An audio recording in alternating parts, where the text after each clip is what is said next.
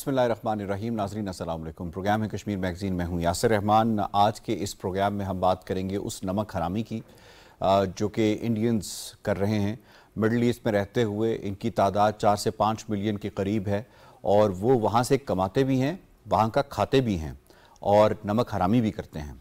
और इसकी वजह से आ, क्या आ, जो एक इन्वायरमेंट है मिडल ईस्ट का वो ख़राब हो रहा है? कहीं वो मुसलमानों के ऊपर के ऊपर इल्ज़ाम लगाते हुए नज़र आते हैं कि जनाब ये इनके जो डिलीवरी बॉयज़ हैं ये हमें थूक कर खाना देते हैं। और कहीं वो इस्लाम की तोहन करते नज़र आते हैं कहीं वो शख्सियात की हमारी सबसे मोतबर और सबसे प्यारी जो शख्सियत है हमारी जानों से भी ज़्यादा प्यारी आप सल्लल्लाहु अलैहि नबी आखिर तो उनकी हवाले से भी जो डेरोगेटरी रिमार्क्स आते रहे हैं सोशल मीडिया के ऊपर, जो ट्विटर के ऊपर मुख्तलिफ़ ट्रेंड चलाए जाते रहे हैं, नूपुर शर्मा जो मलूना है, उसके बाद से जो सूरत हाल पैदा होती रही है, हमने देखा कि उनमें से अक्सर का जो ताल्लुक था, जो इस कैंपेन का बढ़ चढ़ कर हिस्सा रहे हैं उनका ताल्लुक मिडल ईस्ट से था और मिडल ईस्ट में वो लोग थे जो हिंदुस्तान से जिनका ताल्लुक था, लेकिन वो वहाँ पे काम कर रहे थे। अभी एक लेटेस्ट और चीज़ सामने आई है जनाब, चीफ एग्जीक्यूटिव है को फाउंडर है ये बंदा सेवन ऑर्गेनिक इस कंपनी का नाम है और इसका जो बंदे का नाम है, जिसने ये काम किया है, काराकुंडा इसका नाम है और ये तसलसल के साथ जो है, वो इस्लाम की बेहरमती भी कर रहा है, इस्लामी शख्सियात की बेहरमती भी कर रहा है और ख़ास तौर पे मुसलमानों की जो वहाँ पे रहते हैं बसते हैं तो जिसका जिस थाली में खाते हैं उसी में ये छेद करते हैं।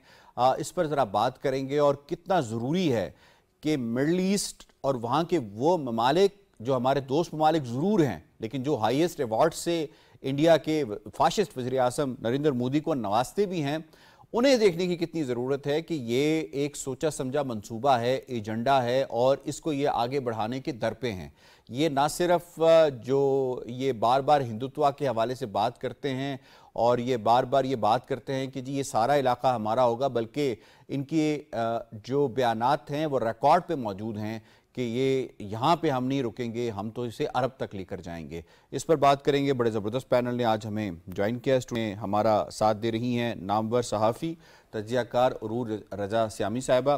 बहुत बहुत शुक्रिया अरूज आपने हमें वक्त दिया है और स्काइप के ज़रिए हमें ज्वाइन किया है।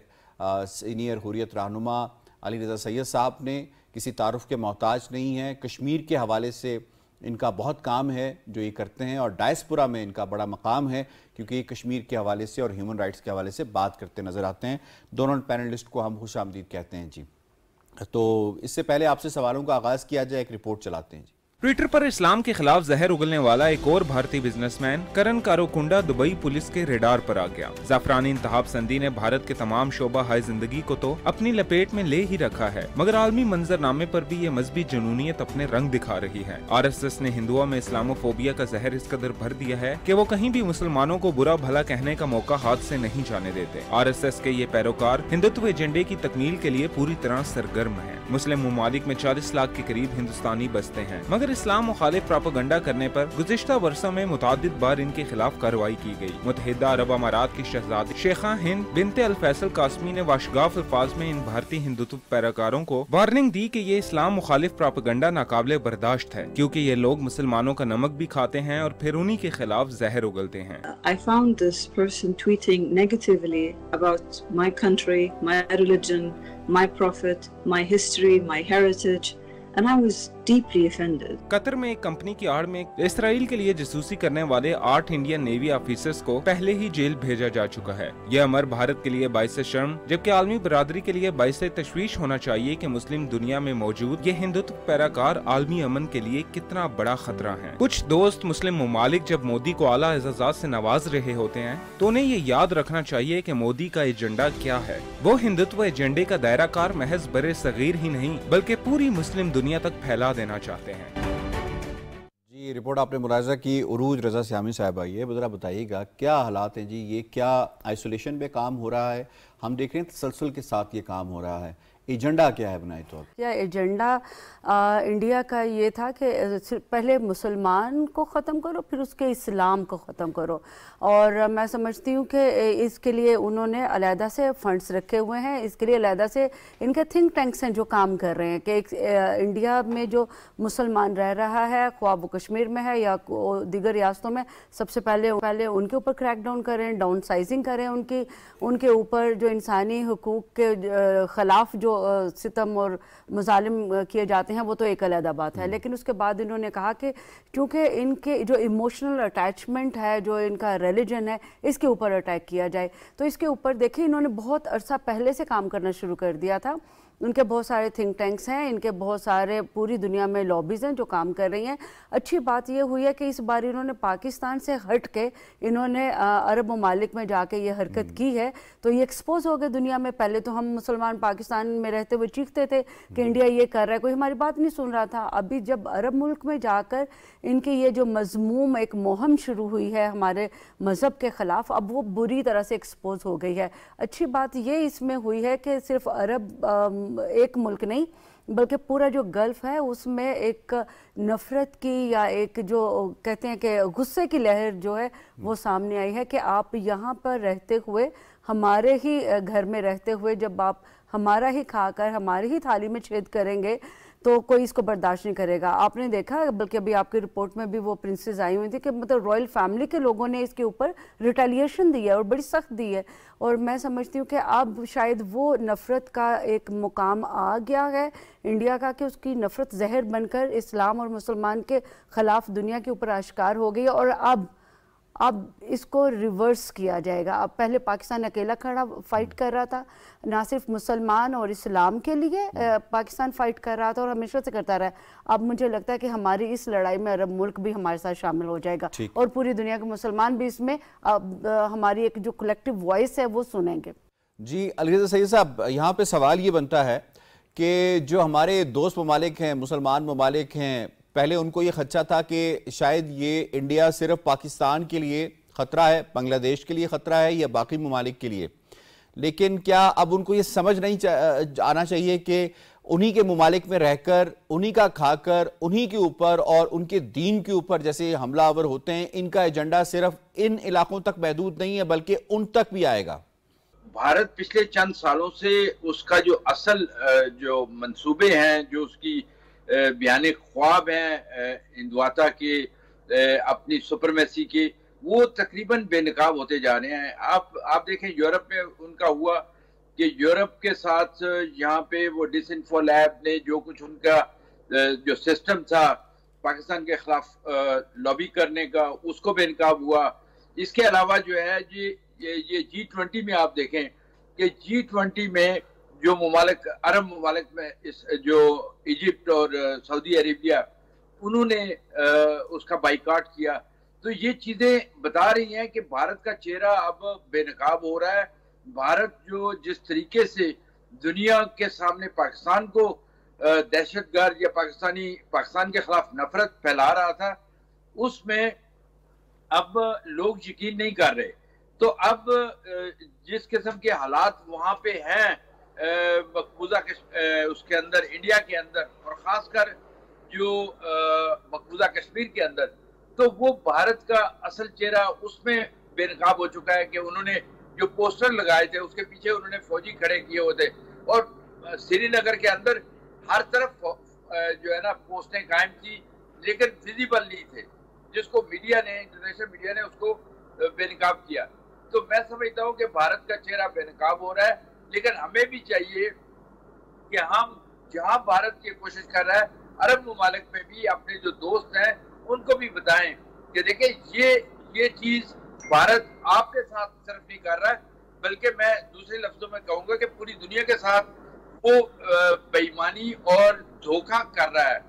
और जिस तरीके से वो अपने जो एक्सट्रीमिस्ट पॉलिसीज़ है फाशिस्ट पॉलिसीज़ है, उसको वो आगे बढ़ाने की कोशिश कर रहा है। तो उसको रोकना होगा। रोकने के लिए हमें लॉबिंग जो है, हमारे थिंक टैंक्स जो हैं, उनको एक्टिव होना पड़ेगा सही तरीके से। और हमारे जो जो मीडिया के लोग हैं, खासकर जो हमारे प्रोफेसर हैं यूनिवर्सिटीज के, उनको यूनिवर्सिटीज के साथ रबते करने होंगे और बताना होगा कि ये असल चीज़ है। जो भारत इंटेलिजेंसिया का ज़िक्र किया तो हमें एक गेस्ट ने अभी स्टूडियोज में ज्वाइन किया है डॉक्टर अफ्ताब सुलहरी साहब ने नामवर तजियाकार हैं। बहुत बहुत शुक्रिया खालिद अफ्ताब सुलहरी साहब। फरमाइएगा सर बात कर रहे हैं हम इस हिंदुत्व जो फिनमिना है ये सिर्फ़ हमें हिट नहीं कर रहा हिंदुस्तान के जो पड़ोसी ममालिक हैं उनको हिट नहीं कर रहा बल्कि ये अब मिडल ईस्ट के अंदर हिट करना शुरू कर गया है। इसकी कुछ बात श्यामी साहिबा ने भी की और उसके बाद फिर सही साहब ने की। इसको रोका कैसे जा सकता है? वो ममालिक क्या भरपूर इसका इदराक रखते हैं कि जिस इंडिया के साथ हम ट्रेड टाइज बढ़ा रहे हैं, इकोनॉमिक टाइज बढ़ा रहे हैं, जिसके साथ हम आए दिन जिसकी वर्क फोर्स को यहाँ पे वेलकम करते हैं और तरजीह देते हैं, उन मुसलमानों के ऊपर, मुसलमान ममालिक के ऊपर जो कि दूसरे मुसलमान ममालिक हैं, जैसे बांग्लादेश हो गया, पाकिस्तान हो गया, इन, इनके ऊपर। तो दिस इज़ हाई टाइम कि अब थोड़ा सा देखा जाए इसको रियलिस्टिकली देखा जाए ऑन ग्राउंड की ऐसा ना हो कि कल इनकी तादाद बढ़ जाए और वो पूरा निज़ाम हाईजैक करके बैठ जाए। इसको आइडेंटिफाई करने की ज़रूरत है। आप जहाँ पे हम दीगर चैलेंजेस को कबूल करते हुए आइडेंटिफाई कर रहे थे ग्रास रूट लेवल के ऊपर जो प्रॉब्लम्स पाई जा रही थी उनको आइडेंटिफाई करने की ज़रूरत पड़ गई है। ये जो इनका ये जो स्टांड है इसके ऊपर आपको अगर याद हो तो उनकी भारतीय जनता पार्टी की जो वो खातून थी नूरपुर शर्मा नूरपुर शर्मा मलूना। या मलूना। तो उस मलूना ने जो एक बुनियाद फ्राहम की थी, उस बुनियाद को आगे बढ़ाने का सबब बन रहे हैं सारे लोग। और ये जो साहब हैं उधर यूएई बेस्ड है, इसने बुनियादी तौर पे उसी एक सिस्टम सिस्टम को आगे बढ़ाने के लिए और उसको आगे रूट देने के लिए एक अपना यानी कारनामा सर अंजाम दिया है। तो इसकी जहाँ भी जितनी भी हो मजम्मत की जानी चाहिए।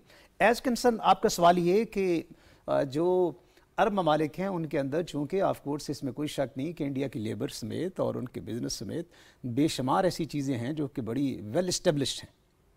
जहाँ वो वेल इस्टेब्लिश हैं वहाँ पे कई दफ़ा लोग अदराक करना चाहते हैं कई दफ़ा नहीं करना चाहते। तो उसमें सिस्टमेटिकली हमें एक of course as being Islamic country being a Pakistan हमें एक अपना किरदार अदा करने की ज़रूरत है। ओआईसी के प्लेटफॉर्म पे लेके जाना यस एग्जैक्टली इसको ओआईसी के प्लेटफॉर्म में ले जाना चाहिए। कि आपको रेड लाइंस अपनी मुतन करनी है दिस इज़ हाई टाइम कि अगर कोई यहाँ पे काम करेगा इन ममालिक में तो उससे ये एस फॉलो करना मस्ट होंगी। ऐसा नहीं होगा कि हमारा ही नमक खाए और हमसे ही नमक हरामी करे।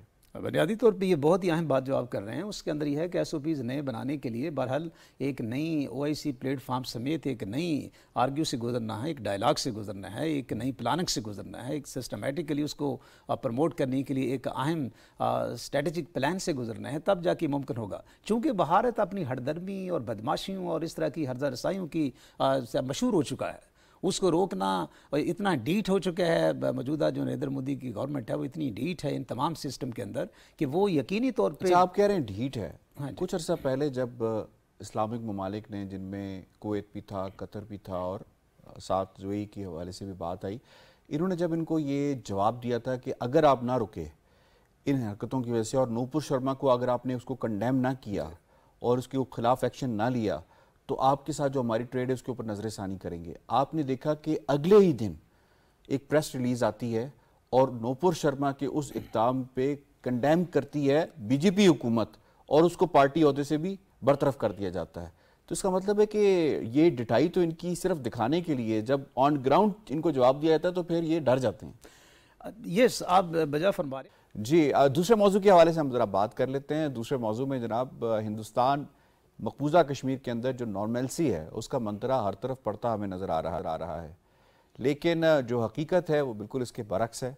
वो लोग जिनके चुनीदा होते हैं, जिन्हें चुन तखब कह सकते हैं हम जिन्हें ये लेकर जाते हैं सिक्योरिटी हिसार के अंदर और बताते हैं कि जी, ये, वो नया कश्मीर है, जो पाँच अगस्त 2019 के बाद से हमने तख्लीक किया है। यहाँ पे अमन आश्ती है, यहाँ पे कोई प्रॉब्लम नहीं है। अब वो लोग भी मकबूजा कश्मीर जाने से जो है वो कतरा रहे हैं अवॉइड कर रहे हैं और वो बार बार यही कह रहे हैं कि जनाब there is no normalcy at all तो किस हद तक ये इंडिया इसमें एक्सपोज हुआ है? अली रजा सैद साहब, मैं इसमें आपको शामिल हूँ। ये जो नॉर्मलसी का मंत्रा है, ये जो इंडिया 2019 से बताने की कोशिश कर रहा है, पहले तो कश्मीरियों ने इसको बाय नहीं किया। क्या अब दुनिया भी यकसर इसको मुस्तरद कर चुकी है? There is no normalcy in आयोजे के पिछले चंद दिनों से जो है, मैं मुख्तलिफ़ इंस्टीट्यूशन में गया हूँ, वहाँ मुलाकातें हुई हैं और वहाँ से जो मैंने अखज किया है कि ये जो भारत बेचना चाहता है यहाँ पे कि नॉर्मेलसी है वहाँ पे, वो बिक नहीं रहा है। इनको पूरा यकीन है कि नॉर्मलसी नहीं है, क्योंकि यहाँ के जो मीडियाज हैं इंटरनेशनल मीडिया ने वो पिक्चर शाया की थी, जिसमें भारतीय फौजी जो है, वो वेलकम बोर्ड के पीछे खड़े थे। तो इस तरह की बहुत सारी चीज़ें और खासकर इन्होंने जो एक वफद का, जो जी ट्वेंटी के वफद का एक विज़िट था, कपवाड़ा का, वो भी इन्होंने कैंसिल किया था। तो ये इस लिहाज से अगर आप देखें तो यूरोप में तो कम अज कम और आलमी मीडिया जो वेस्टर्न मीडिया है उस पर ये बातें आ रही हैं कि नॉर्मेलसी नहीं है। भारत झूठ बोल रहा है और उसके ये झूठ का जो असर है, वो आहिस्ता आहिस्ता खत्म हो रहा है। क्योंकि भारत की हर बात में झूठ होता है। जो भी वो बयान करते हैं मकबूजा कश्मीर के अंदर, इस वक्त सख्त जुल्म हो रहा है। जो आवाज़ लोग कुछ कहना चाहते हैं, वो कह भी नहीं पा रहे, क्योंकि उनको जो रिप्राइजल हो रहा है मोदी गवर्नमेंट की तरफ़ से, वो इतना सख्त है कि लोगों की जबानें इन्होंने खामोश करने की कोशिश की है। लेकिन ये पहले भी उसमें नाकाम रहे और आइंदा भी नाकाम रहेंगे। ठीक है आपका पॉइंट जी जी जी। ले, लेकिन हमें हमें एक मैं फिर कहूँगा कि देखें हमें लॉन्ग टर्म स्ट्रेटेजी बनानी होगी इस झूठ के खिलाफ इस जो फाशिस्ट पॉलिसीज़ है मकबूजा कश्मीर के अंदर हो या भारत के अंदर हो उनके खिलाफ हमें एक थिंक टैंक्स जो हमारे हैं उनको देना होगा टास्क देना होगा कि वो इस पे रिसर्च करें और इस पे एक पॉलिसी बनाए। ताकि हम इसको दुनिया के सामने जो है सही तरीके से पेश कर सकें। ठीक है। उरूज, ये बताइएगा कि जो इस नॉर्मलसी का ये ढिंडोरा पीटते हुए नज़र आ रहे हैं, अगर नॉर्मलसी होती तो बुनियादी सवाल जो हर कश्मीरी पूछता है तो एक मिलियन से जायद फौज वहाँ पर क्या कर रही होती? यासर ये जो नॉर्मलसी का वर्ड है, ये कश्मीर के लिए नहीं मकबूजा कश्मीर के लिए नहीं है, क्योंकि वहाँ पे कुछ भी नॉर्मल नहीं है। अभी अली रज़ा साहब जो फरमा रहे थे जी ट्वेंटी समिट हुआ, उसके बाद ये जब दुनिया भर का मीडिया वहाँ पे जाना चाह रहा था, उसको उन्होंने बस मखसूस ग्रुप्स को आने की इजाज़त दी। तो इस वक्त हमारे पास सेवन ऐसी ऑर्गेनाइजेशन हैं जिसमें जूरिस्ट थे। एग्जैक्टली exactly, ये हाँ, भी वहाँ पे गए इनको भी डरा के भगा दिया। बिल्कुल अभी हमारे पास सेवन ऑर्गेनाइजेशन की रिपोर्ट ऐसी है जिसमें रिपोर्टर्स बियॉन्ड बॉर्डर्स भी शामिल हैं और दो तीन और भी ऑर्गेनाइजेशन हैं जिन्होंने अपनी रिपोर्ट इसमें जमा कराई है और उसमें उन्होंने कहा कि मकबूजा कश्मीर में कुछ भी नॉर्मल नहीं है। देखिए ये इंडिया जिस तरह का मकबूजा कश्मीर में सब सब बहुत अच्छा है का चेहरा दिखाना चाहता है दुनिया को तो दुनिया को भी पता है कि इस पर्दे के पीछे असल चेहरा है मकबूजा कश्मीर का जिसमें देखें ना लोगों के पास इंटरनेट की एक्सेस है। आपको याद होगा आपके लास्ट प्रोग्राम में भी मैंने आवाज़ उठाई थी कि इंटरनेट की जो एक्सेस है वो बुनियादी हकूक़ में शामिल है। वो अभी तक वहाँ पर पूरी तरह से बहाल नहीं की गई वो अभी तक इंटरमीडियंट सर्विसेज़ वहाँ पे पहुँचाई जा रही हैं। वहाँ पे तालीम का पहले की तरह का ही हाल है कोई उसमें डेवलपमेंट नहीं हुई। वहाँ पे रोज़गार को देख लें और जो बाहर से ला के आबाद किए गए लोग हैं सब रोज़गार सब मुलाजमतें सब मौके उनके लिए हैं। जो कश्मीरी है जो मकबूजा कश्मीर का कश्मीरी है उसके लिए ये रात ये शाम मज़ीद गहरी हो गई है।